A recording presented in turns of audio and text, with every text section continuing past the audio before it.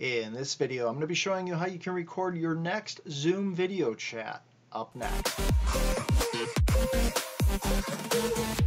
Hey guys, thanks so much for checking out this video. My name is Jeff, and if you are new here, I do different tech review videos as well as helpful tutorials. So let's jump in. So I'm going to be showing you guys how you can use your recording in Zoom and then uh, repurpose that later on for maybe uploading to YouTube, Facebook, or using it to uh, maybe turn into a podcast or even upload to Google Drive so that you can share it with others at a later point. Uh, and real quickly, you are able to record Zoom calls uh, even if you are just using the free version of Zoom.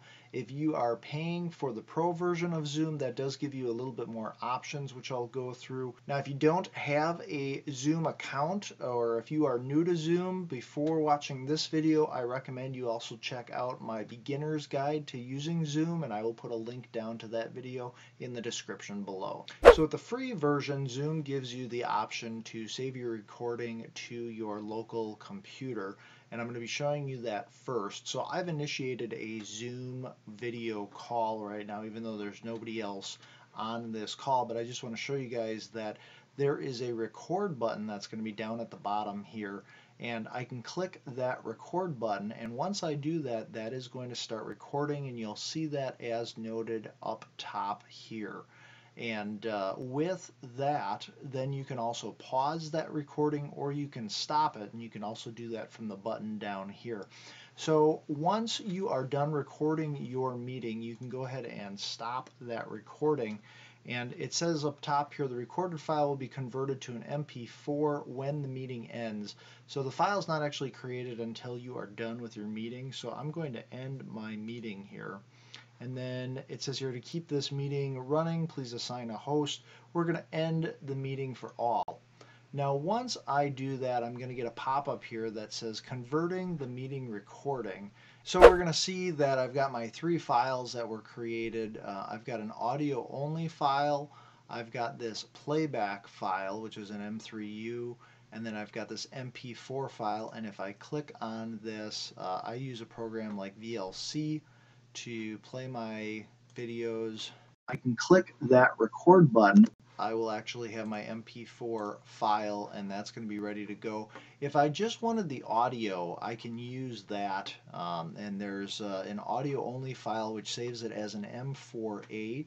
And what you can do with that then is if you want to incorporate it into like a podcast or something, uh, you probably will need to convert this M4A file into an MP3 file to use it uh, if you want to edit it and splice it up. Uh, two programs that I would recommend that you can use for that are going to be iTunes or Audacity, and I will leave links down below if you want to download those. But there's options in those programs to easily convert an M4A file over to an MP3. So after I'm done recording that video chat, uh, if I've closed that window and I can't seem to find those files anymore, uh, what I can do is go to my Zoom application here and then once that's opened there's these buttons at the top home chat and then you'll see meetings. If I click on meeting I've got two tabs in upcoming and recorded and if I go to recorded here I can actually see uh, different meetings that I have recorded locally. And if we click like this one here I can see uh, the location of where it's been saved on my computer. I can just click the open button and that's going to take me back to that window with those files. The other thing is right from this Zoom meeting area, I can choose to play or just play audio or delete these files right from inside the Zoom application. And real quick, in each one of our videos, we hide Tinker, our little hidden robot. He's going to pop up briefly somewhere in each one of our videos. If you happen to spot him in this video, let me know down in the comments section below the time when you saw him as well as your best comment. So the paid version of Zoom, what you actually have is more options for cloud recording. And down here at the bottom of my Zoom recording screen, there is a record button with the little arrow or the caret pointing up. And if I click on that, I have the option to record to this computer, or I also have the option to record to the cloud. And if I click on, say, recording to the cloud, uh, then it's actually recording here. This is pretty neat. So we're going to do a test recording and see how this works. And when we are done recording, I'm going to hit stop. Do you want to stop cloud recording? Uh, if yes, you'll receive an email notification when the cloud recording is ready. All right, let's do that. And then up top here it says you'll receive an email when cloud recording is available. Fun. So under cloud recordings, I can see different recordings that have been done here. Uh, and I've got two options here. I've got a share button. And the share button gives me more options here to share this recording publicly uh, or only auth uh, authenticated users can view. Uh, I can add an expiration date to the link. There's all sorts of different things that I can do here. Uh, so when I am ready to share, I can even copy sharing information to the clipboard and then go ahead and share that.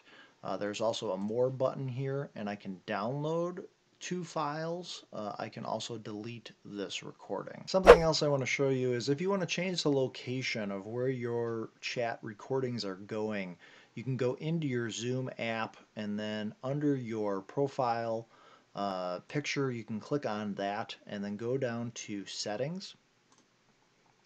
And then under your settings here, you'll see different options off to the left and you want to go down to recordings.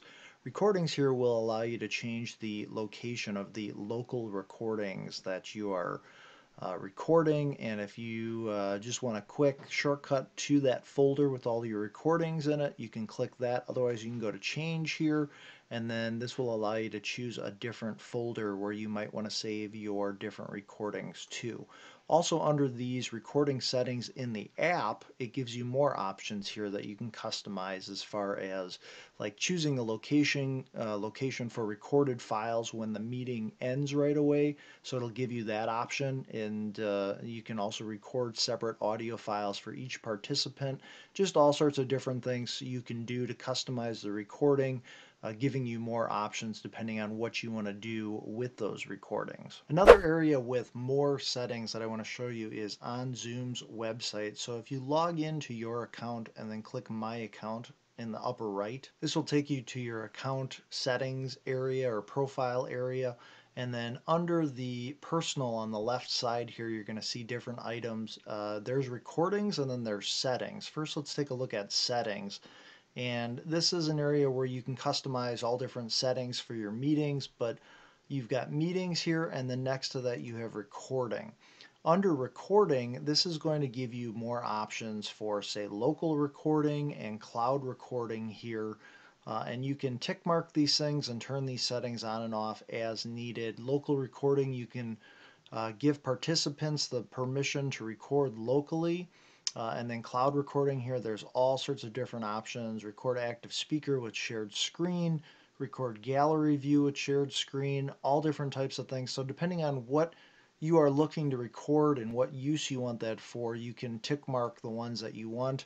You can also set up here like automatic recording uh, as well as other settings here for those recordings. So a bunch of different options here. This is under the recording area of settings. And then if you click on recordings, you're going to see here any saved recordings you have for cloud recordings as well as local recordings. So if you are hosting a meeting uh, and you want a participant to have the ability to record that meeting, you have to give them permission or allow them to record. The way you would do this is if you're in your Zoom meeting, you can go down here to manage participants and I've actually got another Zoom account that I created. We'll just have it be Jeff2 and they are currently in the waiting room and I'm going to admit them in. Now once they become part of this meeting, you'll see here the other account is right here. Um, under my participants, they are now part of this meeting. When I mouse over them, I can go to more and under more that actually gives me an option here to allow record.